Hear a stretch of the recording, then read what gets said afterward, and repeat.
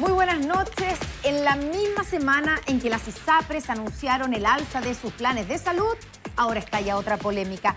Esta vez por la decisión de la autoridad de extender por dos años el plazo a las aseguradoras de salud para que bajen sus tarifas cuando los afiliados cambian de tramo de edad. Parlamentarios de oposición están pidiendo la renuncia del superintendente.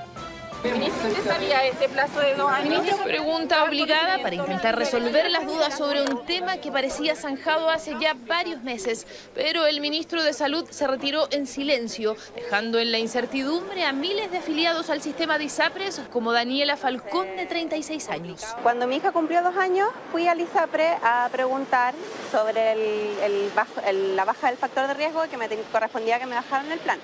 Yo había leído eh, sobre la ley nueva. Daniela se refiere a esta circular emitida por la Superintendencia de Salud en octubre de 2018, donde instruyó a las ISAPRES a bajar automáticamente el precio del plan cuando un niño cumple dos años o una mujer cumple los 40, porque al bajar el factor de riesgo pasan a un tramo que es más barato. Esta es una instrucción que acaba de salir, eh, todavía hay algunos pasos más que dar y por lo tanto nosotros deberíamos esperar que esta, esta instrucción se empiece a aplicar en un par de meses más probablemente. En octubre del año pasado, poco después de emitir la circular, el superintendente de salud explicaba a Tele 13 cómo y cuándo se pondría en práctica la rebaja automática. Ya han pasado casi seis meses de esa declaración.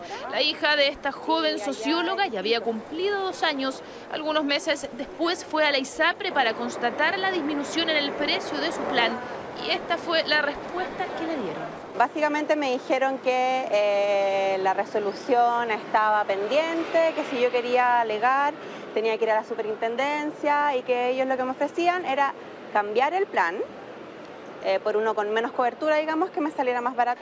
No hubo rebaja automática, las ISAPRES apelaron, como lo permite la normativa, a la Superintendencia de Salud, que a través de un comunicado señaló que da un plazo máximo de dos años para el cumplimiento de esta instrucción, considerando el impacto económico para las aseguradoras privadas. Ahora la ciudadanía, sabiendo que ya no es automático y sabiendo que eh, le ampara el derecho de tener que rebajar el precio, obviamente que la gente va a tener que hacer este reclamo administrativo.